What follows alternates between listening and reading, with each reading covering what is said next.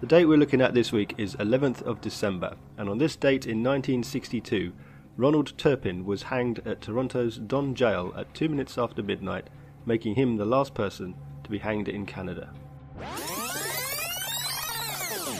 Arthur Lucas was hanged at Toronto's Don Jail at 2 minutes after midnight, making him the last person to be hanged in Canada.